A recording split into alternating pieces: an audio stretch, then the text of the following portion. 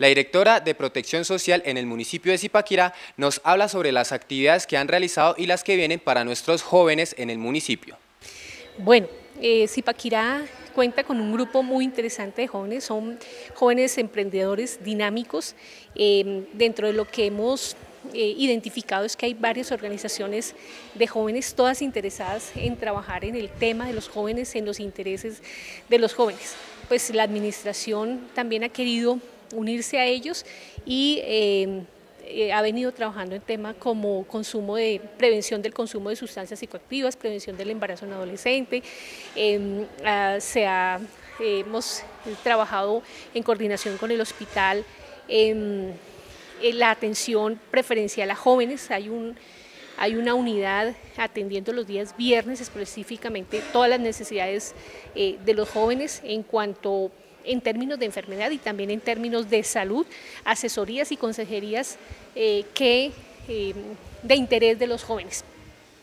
Se ha trabajado al interior de los colegios, prevención de consumo de sustancias psicoactivas en, en coordinación con la gobernación eh, con la gobernación y em, hemos estado trabajando sana convivencia, se ha estado impulsando eh, algunos proyectos productivos de jóvenes, unos participaron en la OIM, en una convocatoria que hizo la OIM se presentaron cuatro proyectos, de los cuales tres fueron aceptados, ellos pueden recibir hasta un recurso de 8 millones para em, apoyar sus proyectos, sus unidades productivas. En este momento hay tres, otras tres unidades que van a participar en Corferias.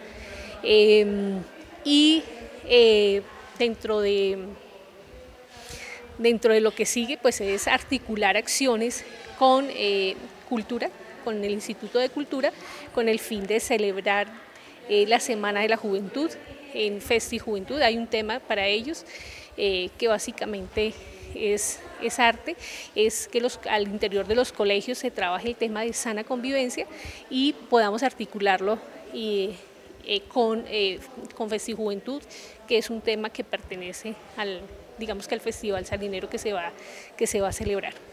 Bueno, dentro del municipio de Zipaquirá hay varias organizaciones, varios colectivos de jóvenes. ¿Cómo trabajan o cómo es el trabajo que realizan desde la Secretaría de Protección Social con ellos?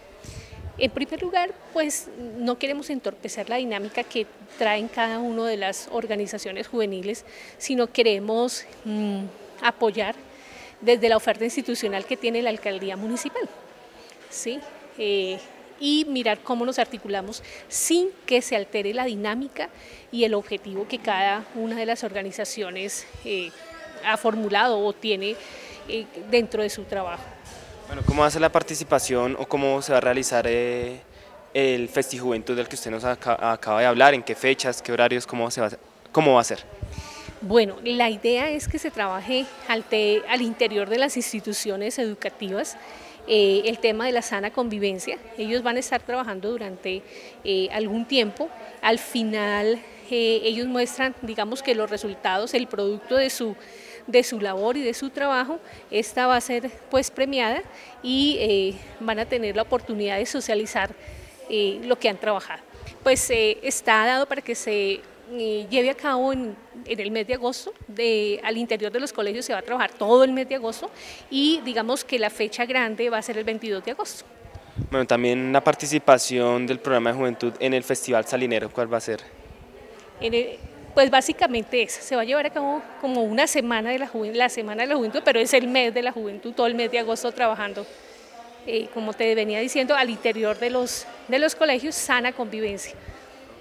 Listo, ¿qué otros proyectos vienen por parte de la Secretaría de Protección Social para seguir trabajando con los jóvenes del municipio?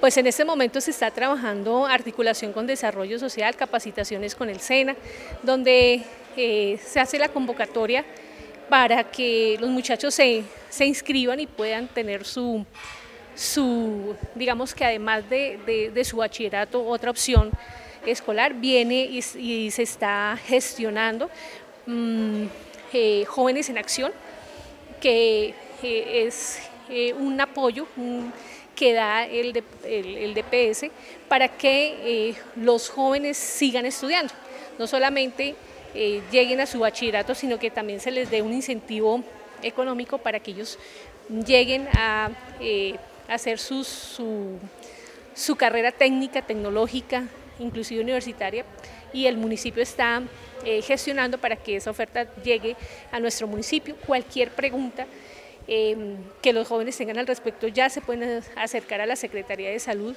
eh, con el fin de que pues darles la información e ir tomando y, e ir eh, teniendo esa base de datos. Sí, el gusto, el gusto es mío también.